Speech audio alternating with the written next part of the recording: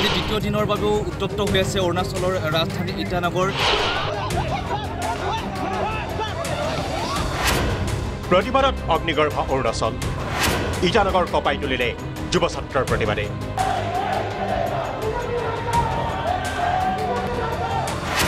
স্তব্ধ হৈ পৰিছে অৰুণাচল প্ৰদেশৰ জনজীৱন। এইদৰেই হাজাৰ হাজাৰ যুৱ ছাত্ৰ স্বতঃস্ফূৰ্তভাৱে ওলাই আহে ইটানগৰৰ ৰাজপথলৈ। প্ৰতিবাদ সাব্যস্ত কৰে অৰুণাচল প্ৰদেশৰ চৰকাৰ আৰু বিজেপিৰ বিৰুদ্ধে। প্ৰতিবাদৰ কাৰণ প্ৰশ্ন কাকত ফাদিল।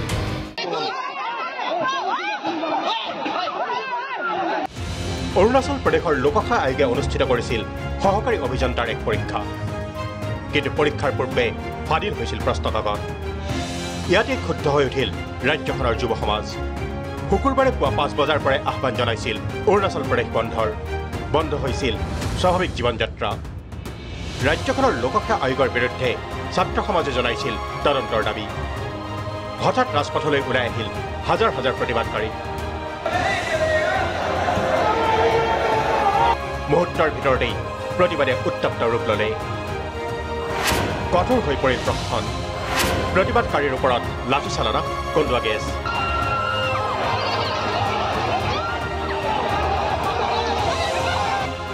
একাংশ প্ৰতিবাদকাৰীয়ে নিৰাপত্তা বাহিনীলৈ নিক্ষেপ কৰে শিলগুটি।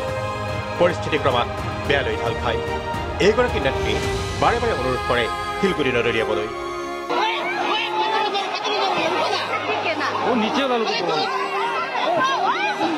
কিন্তু কোনে কাৰ কথা শুনে? প্ৰতিবাদকাৰীক বাধা দিবলৈ নিৰাপত্তা বাহিনীয়ে লাঠিচালনা কৰাৰ লগতে নিক্ষেপ কৰে কন্দুৱা গেছ। দুয়োপক্ষৰ সংঘৰ্ষত আহত হয় অৰ্ধ শতাধিক।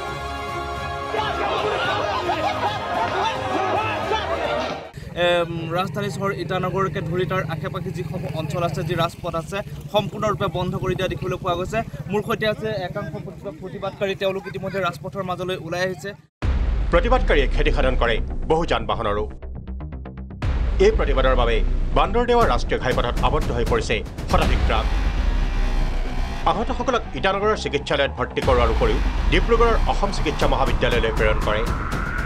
পৰিস্থিতি বেয়ালৈ গতি কৰাত প্ৰশাসনে কৰ্তন কৰে ইণ্টাৰনেট সেৱা। জাৰি কৰে এশ চৌৰাল্লিছ ধাৰাও। প্ৰতিবাদৰ জুইকুৰা উমি উমি জ্বলি আছে যদিও খালী হৈ পৰিছে ইটানগৰৰ ৰাজপথ। বন্ধ হৈ পৰিছে দোকানৰ চাটাৰ প্ৰশ্নকাকত ফাদিলৰ তদন্ত চি বি আইক দিয়াৰ ঘোষণা চৰকাৰৰ।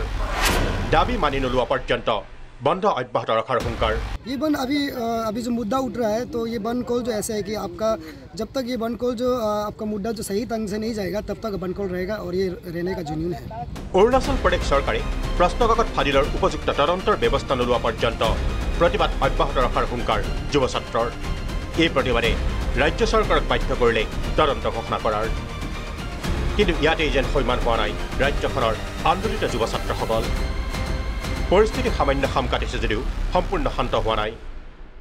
ইটানগৰৰ পৰা নিতুল শইকীয়াৰ ৰিপৰ্ট প্ৰাগ নিউজ।